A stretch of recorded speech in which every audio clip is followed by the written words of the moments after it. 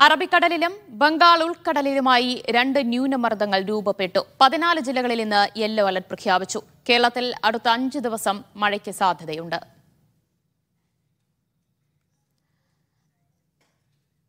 തിരുവനന്തപുരത്ത് നിന്ന് സാന്ത്വനയും ആലപ്പുഴയിൽ നിന്ന് യു ഷൈജുവും ചേരുകയാണ്. സാന്ത്വനയിലേക്ക് സാന്ത്വന എന്താണ്? കാലാവസ്ഥാ നിരീക്ഷണ കേന്ദ്രത്തിൽ നിന്നുള്ള മുന്നറിയിപ്പ്. ദിവ്യ വരുന്ന അഞ്ചു ദിവസം കേരളത്തിൽ ശക്തമായ മഴ ഉണ്ടാകുമെന്ന മുന്നറിയിപ്പാണ് ഇപ്പോൾ കാലാവസ്ഥാ നിരീക്ഷണ കേന്ദ്രം മുൻപോട്ടേക്ക് വെക്കുന്നത്. ഇപ്പോൾ മഴ മുന്നറിയിപ്പിലും ചില മാറ്റങ്ങൾ കാലാവസ്ഥാ നിരീക്ഷണ കേന്ദ്രം പറയുന്നുണ്ട്. അതായത് കേരളത്തിലെ എല്ലാ ജില്ലകളിലും ഇന്ന് യെല്ലോ അലേർട്ട് നിലവിൽ പ്രഖ്യാപിച്ചിരിക്കുകയാണ്.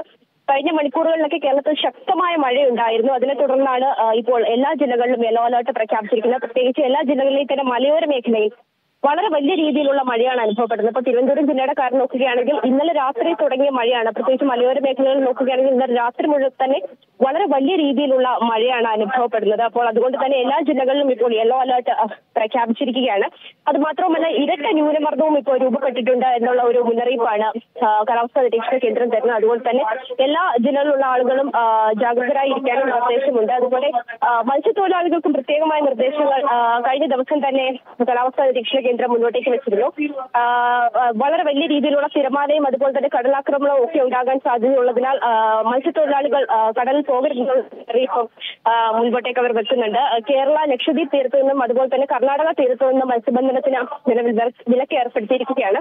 വരുന്ന മുപ്പതാം തീയതി വരെയാണ് ഈ ഒരു വിലക്കുള്ളത്. അതുപോലെ തന്നെ കടൽ തീരത്ത് താമസിക്കുന്ന ആളുകൾ പ്രത്യേകിച്ചും അപകടകരമായ ആ, ആ, കടൽ തീരങ്ങളിൽ താമസിക്കുന്ന ആളുകളൊക്കെ തന്നെയും അധികൃതരുടെ നിർദ്ദേശം അനുസരിച്ച് മാറി താമസിക്കണമെന്നുള്ള ഒരു മുന്നറിയിപ്പും ഇപ്പോൾ വരുന്നുണ്ട്.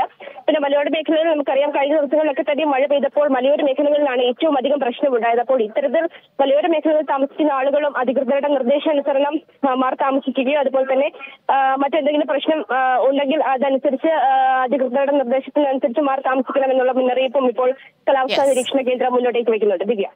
യെസ് ആലപ്പുഴയിൽ നിന്ന് യു ഷൈജു കൂടി ചേരുകയാണ്. ഷൈജു എല്ലാ ജില്ലകളിലും യെല്ലോ അലർട്ടാണ് ഉള്ളത്. ആലപ്പുഴയിൽ എന്താണ് സ്ഥിതി? അതിശക്തമായ മഴയാണോ ഉള്ളത്? ഇത് കഴിഞ്ഞ ദിവസം ഉണ്ടായിരുന്ന മഴയുടെ അതേ തോത് നിലനിൽക്കുന്നു എന്നാണ്. കാരണം ഇന്നലെ രാത്രി മഴ കൂടുതൽ ശക്തമായിരുന്നു. ആ തോത് നിലനിർത്തുന്ന തരത്തിലാണ് ജില്ലയിൽ ഏതാണ്ട് എല്ലാ ഭാഗങ്ങളിലും ഇപ്പോഴും മഴയുള്ളത്. ആലപ്പുഴ നഗരത്തിൽ ഇപ്പോഴും തിമിർത്ത് മഴ പെയ്യുന്ന കാഴ്ച നമുക്ക് കാണാൻ കഴിയുന്നുണ്ട്. അതോടൊപ്പം തന്നെ ജില്ലയുടെ വിവിധ ഭാഗങ്ങൾ ചേർത്തല അരൂർ അരൂക്കുറ്റി മാവേലിക്കര ഹരിപ്പാട് ചെങ്ങന്നൂർ കായംകുളം എല്ലാ ഭാഗങ്ങളിലും കനത്ത മഴ ഉണ്ട് എന്നാണ് ആലപ്പുഴ ജില്ല പറയാൻ കഴിയുന്ന ഏറ്റവും പ്രധാനപ്പെട്ട കാര്യം.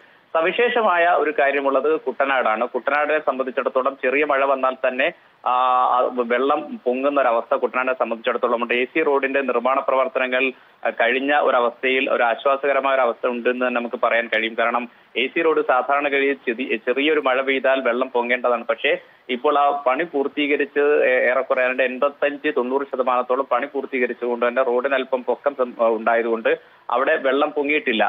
മറ്റൊന്ന് പാടമാണ്. പാടത്തേക്ക് വെള്ളം ഇറങ്ങുന്നത് കൃഷിയെ ബാധിക്കുമെന്നൊരു ആശങ്ക കർഷകരെ സംബന്ധിച്ചിടത്തോളം ഉണ്ട്. രണ്ടാം കൃഷിയുടെ വിളവെടുപ്പ് വരും ദിവസങ്ങളിൽ നടത്താൻ ഇരിക്കുന്ന ഒരു സാഹചര്യത്തിലാണ് കർഷകരുള്ളത്. അതുകൊണ്ട് തന്നെ കർഷകരെ സംബന്ധിച്ചിടത്തോളം ഒരു ആശങ്ക ഈ വിളവെടുപ്പ് തടസ്സപ്പെട്ടാൽ അവർ ഇതുവരെയും മുന്നോട്ട് കൊണ്ടുപോയ കൃഷി രണ്ടാം കൃഷി വെള്ളത്തിലാകുമോ എന്നൊരു ആശങ്ക അവരെ സംബന്ധിച്ചിടത്തോളം ഉണ്ട് എന്നതാണ് കുട്ടനാട്ടിൽ നിന്നുള്ള ഒരു ആശങ്ക മാത്രം. എന്നാൽ വെള്ളപ്പൊക്കത്തിന്റെ ഒരു ഭീതി ഇപ്പോഴില്ല എന്ന് പറയാൻ സാധിക്കും. ജില്ലയിലുടനീളമുള്ള മഴ ഇപ്പോഴും കനത്ത തോതിൽ തുടരുകയാണ്.